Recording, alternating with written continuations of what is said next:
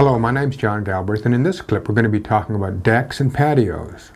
Typically a deck is up off the ground and made of wood, usually redwood, whereas a patio can be uh, uh, poured concrete or stamped concrete. With a deck, if it's any higher than four feet off the ground, you need a building permit, and it should be built by a licensed contractor.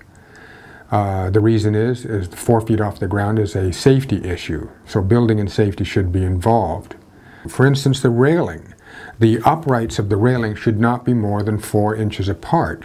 And the reason why they came up with that measurement is toddlers can actually get their heads caught between the uprights of the railing. Um, patios, you don't need a permit for because they're on the ground and it's not a safety issue. But it is advised to have a professional do it because once the concrete's hard, it's very difficult to uh, make any corrections if necessary. Especially one correction would be, uh, for instance, if it, the patio slopes towards the house. This would be causing a, a drainage problem. You might have a little bit of flooding. It should be sloping a 1% slope away from the house.